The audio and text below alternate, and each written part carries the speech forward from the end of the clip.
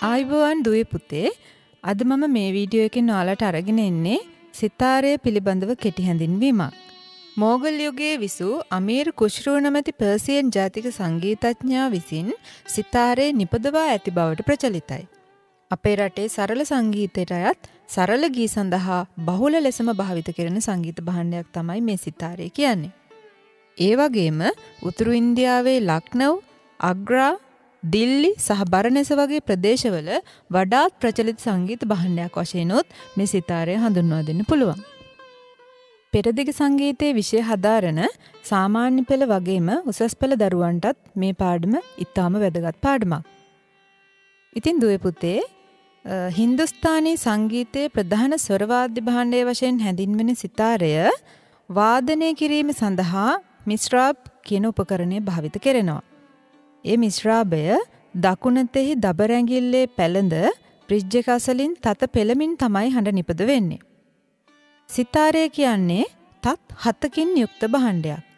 නමුත් ප්‍රධාන වශයෙන් ස්වර නිෂ්පාදනය වන්නේ ප්‍රධාන තතෙන්. ඒ ප්‍රධාන තත නායකී තාර් ලෙස හඳුන්වනවා.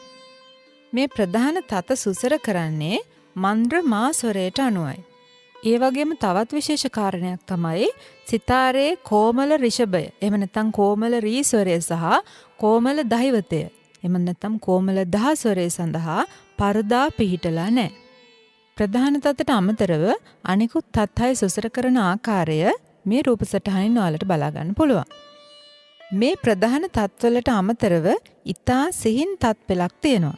ඒවා තරබ් වයර් එහෙම නැත්නම් අනුනාද තත් වශයෙන් හඳුන්වනවා. මෙම අනුනාදතත් සුසර කරන්නේ රාගයක නම් ඒ රාගයට අදාළ ස්වර මත වන අතර ගීතයක නම් ඒ ගීතයේ වාදනය වන ස්කේලයට අනුවයි. සිතාරයේ දාණ්ඩි කියන කොටස දැවයෙන් සකස් කර ඇති අතර තුම්බාව නැමැති කොටස වට්ටක්කා විශේෂයකින් නිමවා තියෙනවා. දැන් අපි බලමු ලෝකයේ සහ ලංකාවේ ප්‍රසිද්ධ සිතාර් වාදන ශිල්පීන් කවුද යන වග. පණ්ඩිත් රවිශංකර් මහතා ලෝකයේ හිටපු දක්ෂතම සිතාර් වාදකයෙක් ලෙස ප්‍රචලිතයි. එවගේම පණ්ඩිත් නිකිල් බැනර්ජි, උස්තාද් විලායත් ખાන් වගේ ශිල්පීනුත් දක්ෂතම සිතාර් වාදකයින් වශයෙන් හැඳින්වෙනවා. ඒ වගේම අපේ රටේ ගත්තහම විශාරද ලයන ලෙදිරිසිංහ මහතා, විශාරද බී.එස්. විජේරත්න මහතා, කේ දයාරත්න මහතා, ධර්මසිරි පෙරේරා මහතා යන අය අපේ රටේ හිටපු දක්ෂ සිතාර් වාදකයින් වශයෙන් හැඳින්වන්න පුළුවන්.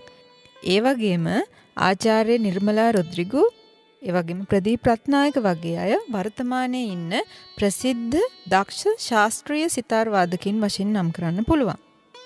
ඉතින් දුවේ පුතේ ඔයාලගේ සාමාන්‍ය පෙළ සහ උසස් පෙළ විභාග සඳහා සිතාරය පිළිබඳව ඔබ දැනුවත් විය යුතු මූලික කරුණු මේ වීඩියෝ එකේ අන්තර්ගත වෙලා තියෙනවා.